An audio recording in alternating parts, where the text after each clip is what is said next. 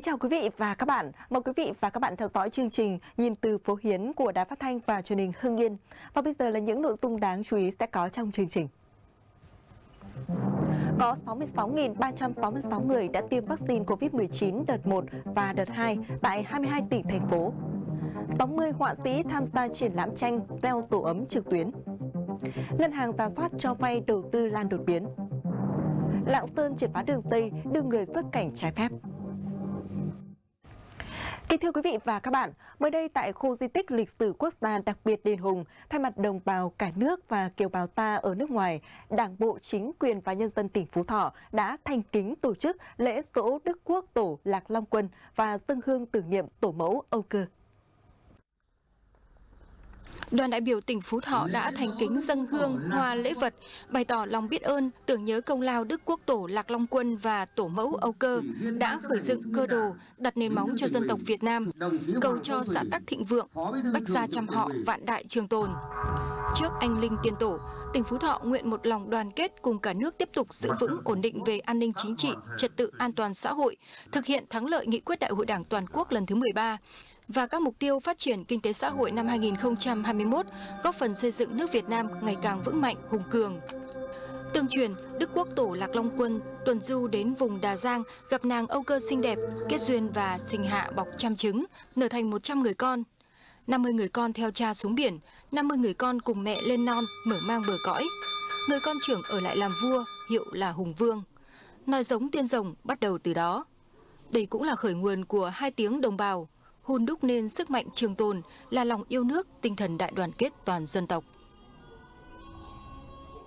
Triển lãm tranh gieo tổ ấm với sự tham gia của 60 họa sĩ trên toàn quốc đã chính thức khai mạc trực tuyến từ ngày 19 tháng 4 năm 2021 nhằm đóng góp vào quỹ từ thiện gieo nhà, gặt nhà.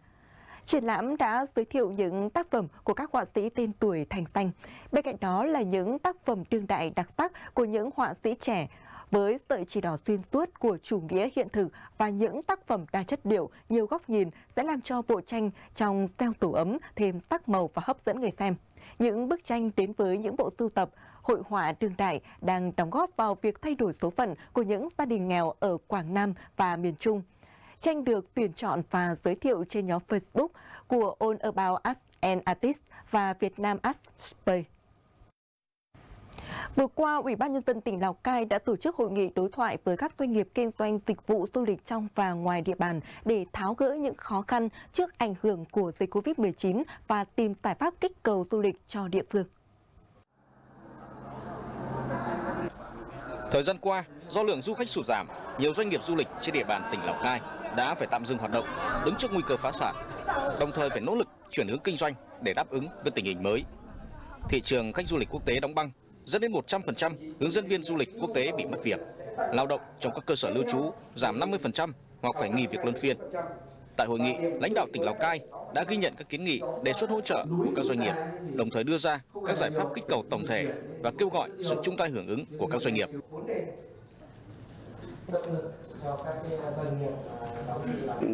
lâu dài thì ờ, chúng tôi cho rằng là thứ nhất là Lào Cai phải tập trung làm tốt về công tác về quy hoạch để tạo ra một cái không gian phát triển rất tốt cho du lịch. À, kèm vào đó đó là công tác về tổ chức thực hiện quy hoạch và quản lý quy hoạch. Vấn đề thứ hai đó là phải thu hút được ờ, về nguồn lực về đầu tư về về du lịch và trong đó thì quan trọng nhất là phải tìm được các nhà đầu tư chiến lược, các nhà đầu tư uh, tầm cỡ uh, quốc gia quốc tế để tạo ra các cái sản phẩm, tạo ra sự khác biệt thì vừa rồi trong hội nghị chúng tôi được nghe trình bày cái chương trình kế hoạch kích cầu và chúng tôi rất tin tưởng và nếu làm đúng làm đủ làm tốt như chương trình kích cầu mà chúng ta đã đề ra cùng sự chung tay của tất cả các doanh nghiệp của tất cả mọi ban ngành và toàn bộ người dân nữa thì cái chương trình kích cầu này chắc chắn sẽ thành công. Năm 2021, ngành du lịch tỉnh Lào Cai đặt ra mục tiêu đón 5 triệu lượt khách, tổng thu từ các hoạt động du lịch đạt 16.000 tỷ đồng. Tuy nhiên, do ảnh hưởng của dịch bệnh, tổng lượng du khách đến Lào Cai 3 tháng đầu năm chỉ đạt hơn 713.000 lượt,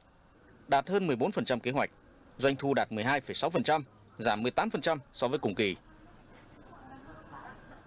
Hướng tới Ngày sách và Văn hóa đọc Việt Nam 21 tháng 4 và Ngày sách Thế giới 23 tháng 4, bắt đầu từ ngày 17 tháng 4 đã diễn ra Hội sách trực tuyến quốc gia lần thứ hai trên sàn book365.vn. Đây là năm thứ hai ngày hội sách trực tuyến được Bộ Thông tin và Truyền thông tổ chức sau thành công của lần đầu tiên hồi tháng 4 năm ngoái. Vào năm ngoái do ảnh hưởng của dịch bệnh Covid-19, thay vì tổ chức trực tiếp, Bộ Thông tin và Truyền thông quyết định tổ chức hội sách dưới hình thức trực tuyến. Kết quả sự kiện đã giúp Việt Nam trở thành nước thứ hai ở Đông Nam Á và top 5 quốc gia đầu tiên triển khai hỗ trợ sách trên môi trường số. Hội trợ sách trực tuyến năm nay cung cấp trên 20.000 tựa sách với trên 30.000 bản sách để phục vụ bạn đọc tại địa chỉ book365.vn, các chương trình giao lưu trực tuyến. Các trường đại học tiếp tục công bố điểm sàn từ kỳ thi đánh giá năng lực của Đại học Quốc gia Thành phố Hồ Chí Minh năm 2021. Trường Đại học Quốc tế Hồng Bàng vừa công bố ngưỡng điểm nhận hồ sơ xét tuyển bằng phương thức thi đánh giá năng lực. Theo đó, thí sinh đã tham gia kỳ thi đánh giá năng lực của Đại học Quốc gia Thành phố Hồ Chí Minh năm 2021 và đạt kết quả từ 600 điểm trở lên sẽ đủ điều kiện đăng ký xét tuyển vào 68 ngành đào tạo hệ đại học chính quy. Năm 2021, Trường Đại học Ngoại ngữ Đại học Đà Nẵng tuyển sinh trình độ đại học theo 5 phương thức, trong đó phương thức xét tuyển kết quả thi đánh giá năng lực của Đại học Quốc gia Thành phố Hồ Chí Minh.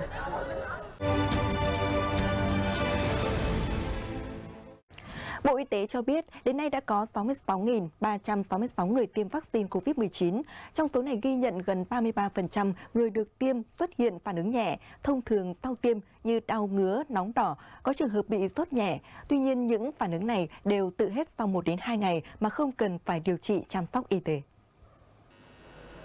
Đến nay, Bộ Y tế đã thực hiện tiêm vaccine phòng COVID-19 đợt 1 và 2 tại 22 tỉnh, thành phố cho những đối tượng là cán bộ, nhân viên y tế đang trực tiếp điều trị bệnh nhân COVID-19.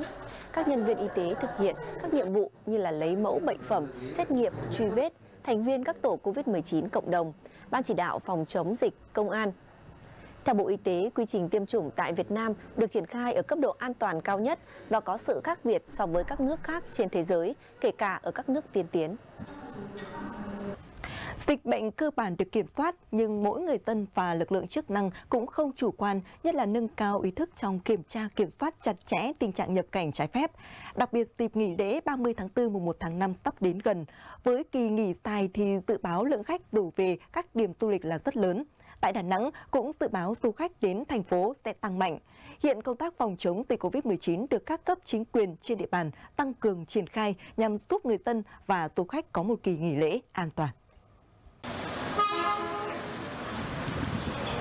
Các doanh nghiệp du lịch, nhà hàng, khách sạn, người dân hoạt động trong ngành vận tải đều rất chờ đợi khách du lịch sẽ đổ về thành phố Đà Nẵng dịp lễ sau thời gian dài ảnh hưởng bởi dịch Covid-19.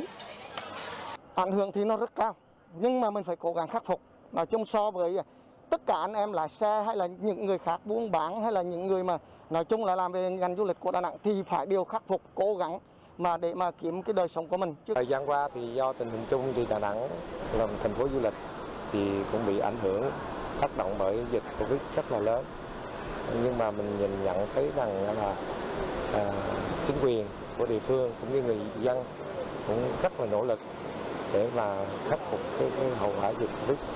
À, thì mình thấy cái tình hình đã được kiểm soát và mình nghĩ trong thời gian sắp đến thì mọi việc sẽ tốt đẹp hơn.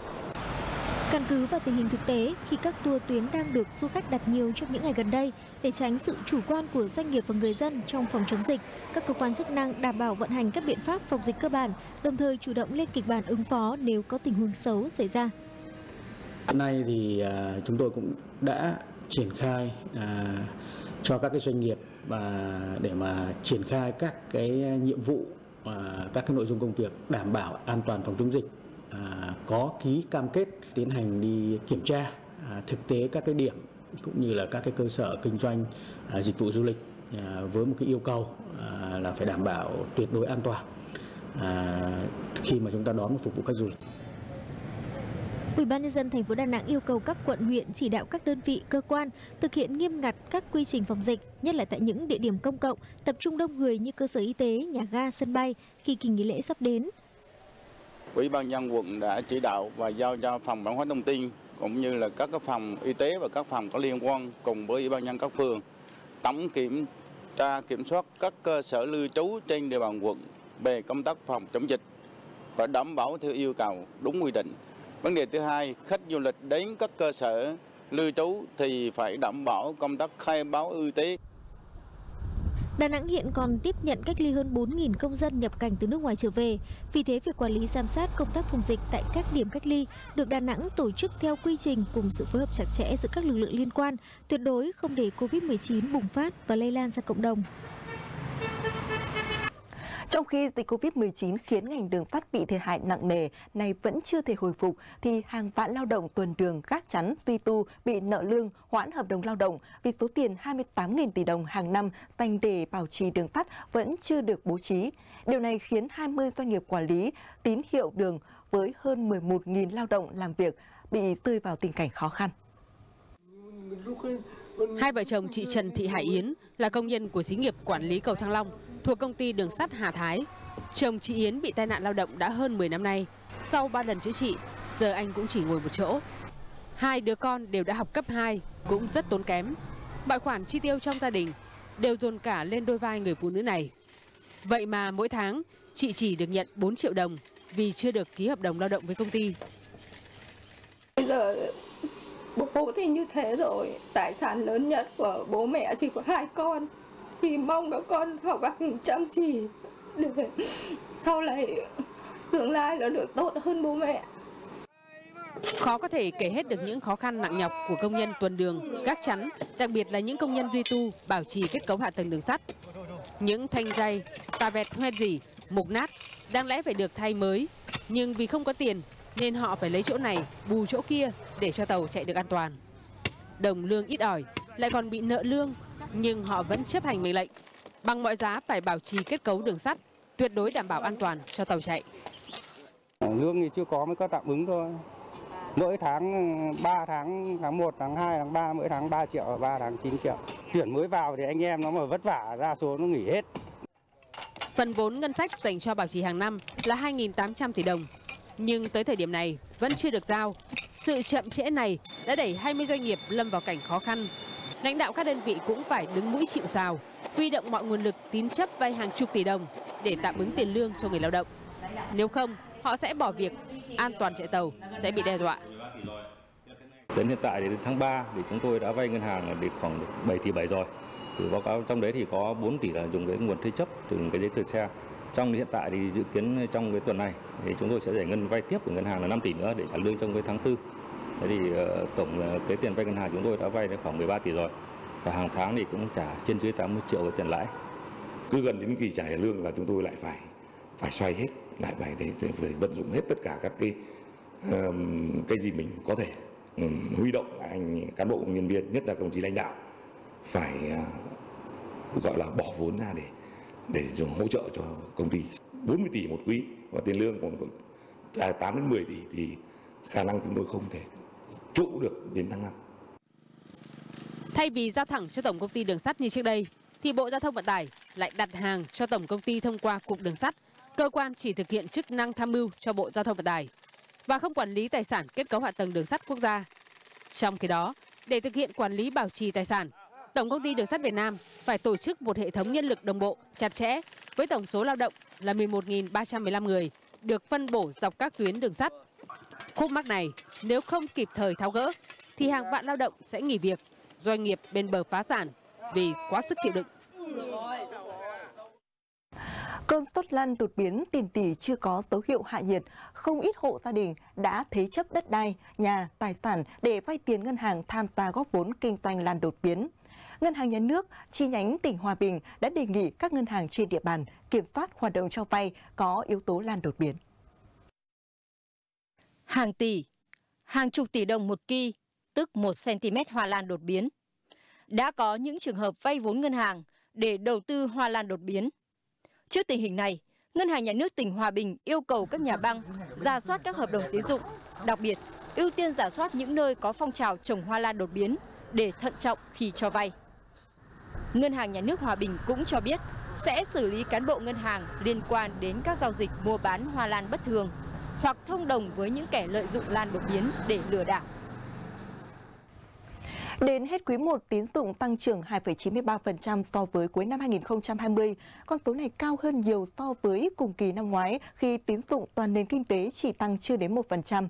Theo quy luật, quý 1 tín dụng thường có mức tăng thấp, vì vậy với đà tăng trưởng này, tín dụng kỳ vọng sẽ tăng ở mức 12% trong năm nay, thay vì 10% như mục tiêu ngân hàng nhà nước đã đặt ra. Đây là tín hiệu lạc quan cho nền kinh tế. Năm ngoái, ngân hàng này tăng trưởng tín dụng âm trong quý 1 do ảnh hưởng của dịch bệnh. Năm nay, dịch bệnh chưa kết thúc, nhưng với những chiến lược kinh doanh thích ứng với bối cảnh, ngân hàng đã có những kết quả bước đầu khởi sắc. À, so với quý 1 của năm 2020 thì năm 2021 tăng trưởng tín dụng của A-Bank đã có cái sự khởi sắc hơn và đạt mức tăng trưởng 2,9% so với số thực hiện của cuối năm 2020 à, tương đương mức 99,7% kế hoạch của quý đã đặt ra và trong đó à, dư nợ cho nhóm khách hàng cá nhân có cái kết quả vượt trội với mức tăng trưởng 15,7% so với thực hiện của cuối năm 2020. Tuy tăng trưởng tín dụng có tín hiệu khả quan, nhưng ngân hàng nhà nước vẫn khá thận trọng khi giao chỉ tiêu tăng trưởng tín dụng cho các ngân hàng cho năm 2021. Ví dụ tại ngân hàng quốc doanh này, hạn mức tín dụng được phê duyệt tăng trưởng là 7,5%, thấp hơn so với mức tăng trưởng thực của năm 2020. Tín dụng tăng trưởng gần 3%, góp phần đắc lực trong việc thúc đẩy tăng trưởng kinh tế trong quý 1 vừa qua. Với định hướng điều hành linh hoạt, phù hợp với tình hình thực tế, ngân hàng nhà nước đang có những định hướng và kiểm soát dòng vốn. Một trong cái định hướng quan trọng nhất của năm nay chúng tôi đặt ra trong 12% tín dụng ờ, của ngành ngân hàng ấy, chính là tập trung vào những lĩnh vực ưu tiên, những lĩnh vực ờ, ờ, cần thiết để sớm khôi phục, phục hồi lại sản xuất do những khó khăn tác động của dịch. Đó là ưu tiên trước hết và cũng như ưu tiên tập trung vào những công trình, những cái dự án mà trọng điểm của nhà nước. Các chuyên gia cho rằng quy mô dư nợ tín dụng trên GDP ngày càng lớn, hiện khoảng 140%, nên việc kiểm soát tín dụng toàn ngành ngân hàng tăng ở mức 12% trong năm nay là hợp lý. Tín dụng tăng trưởng có nghĩa là nền kinh tế bắt đầu có nhu cầu vốn để sản xuất kinh doanh. Và đây cũng là tín hiệu khởi sắc của nền kinh tế. Trong quý 1 năm 2021, thống kê cho thấy trên địa bàn tỉnh Đắk Lắk xảy ra 222 vụ phá rừng trái phép với hơn 80.000 ha rừng bị phá. Trong đó, diện tích rừng bị phá lớn nhất tập trung tại công ty trách nhiệm hữu hạn một thành viên lâm nghiệp Crong Bông, huyện Crong Bông với 176 vụ. 45,71 ha chiếm trên 79% tổng số vụ, chiếm gần 57% diện tích bị thiệt hại toàn tỉnh. Nguyên nhân chủ yếu là do lượng lớn người dân di cư tự do sinh sống trên địa bàn dẫn tới tình trạng phá rừng, lấn chiếm đất rừng để ở và sản xuất. Mặt khác, các đối tượng thường phá rừng theo từng khoảnh nhỏ lẻ, manh mún để diện tích phá rừng không đủ xử lý hình sự. Hiện nay, Tri Cục Kiểm lâm tỉnh Đắk lắc đã chỉ đạo các đơn vị trực thuộc ra soát xác định các khu vực phá rừng để chủ động tham mưu cho chính quyền địa phương lập kế hoạch tuyên truyền, tập trung lực lượng kiểm tra, phát hiện xử lý kịp thời, hạn chế tối đa thiệt hại gây ra đối với rừng. Mới đây, Thứ trưởng Y tế Trần Văn Thuấn đã có cuộc họp kiểm điểm trách nhiệm lãnh đạo Bệnh viện Tâm thần Trung ương 1 sau vụ việc bệnh nhân có tiền sử bệnh tâm thần bay lắc cầm đầu đường Tây mua bán ma túy ngay trong bệnh viện này. Tại cuộc họp, lãnh đạo bệnh viện đã đọc bản kiểm điểm các vụ, cục và lãnh đạo Bộ Y tế có ý kiến chuẩn bị để Hội đồng kỷ luật của Bộ Y tế họp quyết định hình thức xử lý kỷ luật lãnh đạo Bệnh viện Tâm thần Trung ương 1 vào tuần sau. Ông Vương Văn Tịnh, Giám đốc Bệnh viện Tâm thần Trung ương đã đề xuất nhận mức kỷ luật là khiển trách với lý do đã phân cấp quản lý nhưng khoa điều trị đã để xảy ra vụ bệnh nhân tổ chức bay lắc trong phòng điều trị. Sau cuộc họp, Bộ Y tế yêu cầu tiếp tục có thêm một quyết định tạm đình chỉ công tác với ông Vương Văn Tịnh thêm 15 ngày tiếp theo. Bộ Chỉ huy Bộ đội Biên phòng tỉnh Lạng Sơn cho biết, lực lượng biên phòng vừa phối hợp với Công an tỉnh Lạng Sơn triệt phá thành công đường Tây tổ chức đưa dẫn 5 công dân Việt Nam xuất cảnh trái phép sang Trung Quốc. Các đối tượng bị bắt giữ gồm Lành Văn Anh sinh năm 1994, Hoàng Văn Hiền sinh năm 1994, Hoàng Văn Huynh sinh năm 1999 và Lành Văn Định sinh năm 1990 cùng trú tại xã Tú Mịch, huyện Lộc Bình, tỉnh Lạng Sơn. Trước đó, đêm ngày 12 tháng 4, tại khu vực biên giới xã Yên Khoái, các lực lượng đã mật phục bắt quả tang đối tượng Lành Văn Anh đang tổ chức đưa 5 công dân Việt Nam vào khu vực biên giới. Đối tượng khai nhận đã đón 5 người này từ khu vực cửa khẩu Chi Ma, huyện Lộc Bình để tìm đường xuất cảnh sang Trung Quốc với tiền công 5 triệu đồng. Đối tượng Lành Văn Anh, lực lượng chức năng đã mở rộng điều tra, triệt phá được dây đưa người khác xuất cảnh trái phép, trong đó xác định Hoàng Văn Hiền là người cầm đầu. Quý vị và các bạn vừa theo dõi chương trình Nhìn từ phố Hiến của Đài Phát thanh và Truyền hình Hưng Yên. Cảm ơn quý vị và các bạn đã dành thời gian theo dõi. Thân ái chào tạm biệt.